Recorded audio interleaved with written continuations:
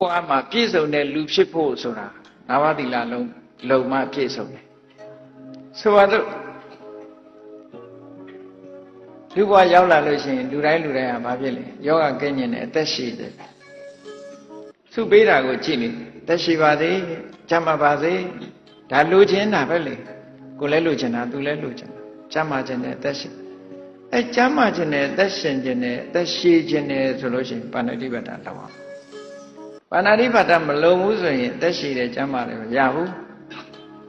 ဟောနောက်တစ်ခုကစီးပွားဥစ္စာတွေတိုးတက်ပါစေရထားတဲ့စီးစိမ်ဥစ္စာတွေမပြည့်စည်ပါစေနဲ့လို့လူတိုင်းလိုချင်တယ်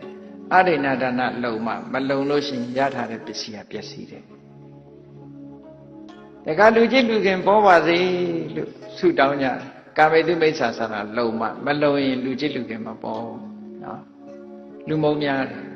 အဲ့ဒီမပြောနဲ့ရုပ်ရှင်နဲ့တောင်အဲ့ဒီဟာတယုတ်ဆောင်တဲ့ပုဂ္ဂိုလ်ဟာအရက်ထဲမှာတောင်မသွားရဲဘူးခဲနဲ့ထုခံမှာဆိုတော့လူကလည်းအမုန်းကကူးဆက်သွားတာနော်တကယ်ကတော့တယုတ်ဆောင်တာတယုတ်ဆောင်တာပြည်ပြင်းလွန်အားကြီးတဲ့အခါကျတော့လူမုန်းဖြစ်သွားပမာရှင်ကလည်းရှိပါတယ်အဲ့ဒါမျိုးအဲ့တော့ကာမိတုမိစ္ဆာစရာအပြစ်ကတယ်လူမုန်းများတယ်နောက်တစ်ခုမုဒဝါဒ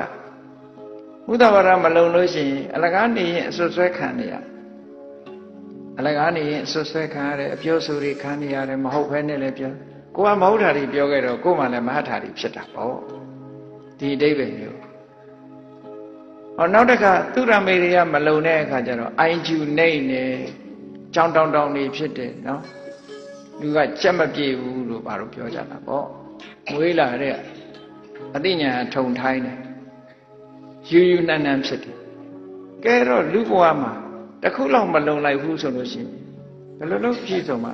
လူဆိုတာအသက်ရှင်ရမယ်ကျန်းမာရမယ်ပစ္စည်းဥစ္စာပေါ်များပြီးတော့ပစ္စည်းဥစ္စာခိုင်မာရမယ်လူကြီးလူကင်ပေါ်ရမယ်အဆွဆွဲမခံရဘူးအိုင်ကျူမြင့်ရမယ် brain ကောင်းရမယ်နော် bright ဖြစ်ရမယ်ဒီလိုဆိုလိုတာပေါ့